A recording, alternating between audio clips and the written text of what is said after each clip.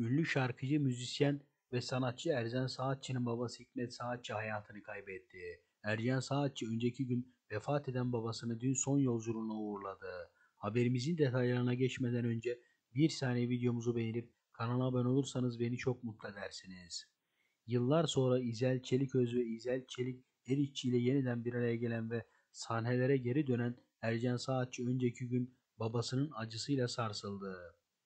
Habertürk'ten Eren Gürel'in haberine göre ünlü şarkıcının babası Hikmet Saatçi vefat etti. Dün Üsküdar'daki Şakiri Camii'nde kılınan cenaze namazının ardından Karacaahmet mezarlığında toprağa verilen Hikmet Saatçi'nin cenaze törenine pek çok ünlü isim katıldı. İsmail Türüt, İbrahim Kutlay, Mahsun Kırmızıgül, Hüsnü Şenlendirici, Emel Müftüoğlu ve Hakan Altu gibi ünlü isimler acı gününde Ercan Saatçı'yı yalnız bırakmadı. Şimdilik videomuzun burada sonuna geldik. Gündeme dair gelişmelerden anında haberdar olmak istiyorsanız aşağıdan kanalıma abone olup bildirimleri açabilirsiniz. Renkli sayfalar.